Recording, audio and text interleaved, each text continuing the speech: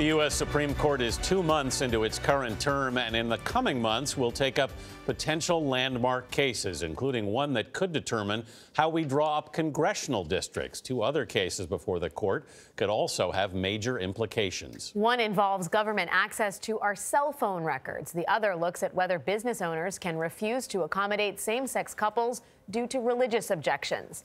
To break it all down, we are joined by CBS News Justice reporter Paula Reid. Paula, good morning. Good morning. Let's start first with the cell phone records. What's on tap in terms of that case? So, this case comes amid this larger national conversation about how much access law enforcement can get to our digital records. There is no doubt there is more information about me on this cell phone than there is in my entire home. So in this case, law enforcement was investigating a, a string of armed robberies. Mm -hmm. And as part of this, without a warrant, they were able to get cell phone location data. That's, that's when your cell phone pings to a tower. And for the suspect who got all the way to the Supreme Court, he was convicted partially on this data. They had almost 13,000 points of location data for him. And he sued, saying they shouldn't have been able to get this without a warrant. Hmm. So th this case involves the Fourth Amendment, which was literally written centuries ago. but now is being applied to new technology. How difficult is it to interpret this?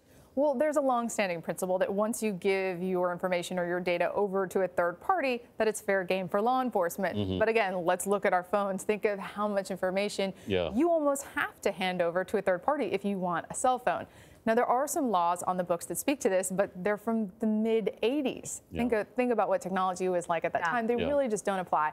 So the justices know that they're in a spot here. They need to clarify this so law enforcement can do their job, but they absolutely seemed open in oral argument to perhaps curtailing this a little bit. Hmm.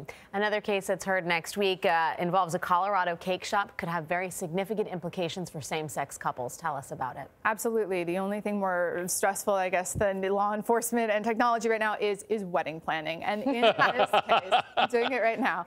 In this case, um, you had a Christian business owner, Jack Phillips. Uh, he, he is a, Chris, a Christian businessman and he employs a lot of his Christian principles in his business. For example, he's not open on Sundays. Uh, he has refused to make cakes that uh, involve alcohol or for Halloween or that celebrate divorce. So, of course, a same sex couple came to his bake shop and wanted a cake, and he refused. They sued, arguing that Colorado's anti-discrimination laws does not allow, do not allow him to refuse to bake this cake. But he has actually challenged that on First Amendment mm. grounds. And that's mm. what's so interesting is he's not arguing about religious freedom or anything like that. He's saying the state cannot compel me yep. to create a message that I disagree with. Huh. So what are the implications here potentially for businesses? Well, the sweeping implications. There are some concerns that now anyone who's in a, a quote unquote art artistic business, so that would be in terms of marriage, florists or hair salons, tailors, uh, mm-hmm. perhaps calligraphers as well,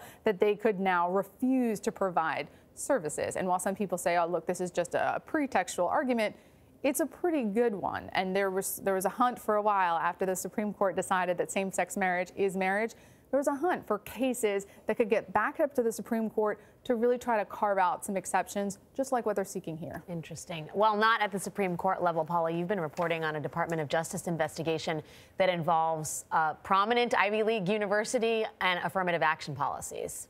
That's right. I mean, this could potentially go back to the Supreme Court, and I think that's part of the idea. The president himself has said, perhaps it is time for affirmative action to be revisited. Do we still mm. need it? So uh, under that umbrella, the Justice Department is currently investigating Harvard University for possibly discriminating against Asian students in its affirmative action policies. Now, Harvard has declined to provide the Justice Department with everything it wants in this investigation. Uh, just late last night, I spoke with Harvard. They said that they have complied.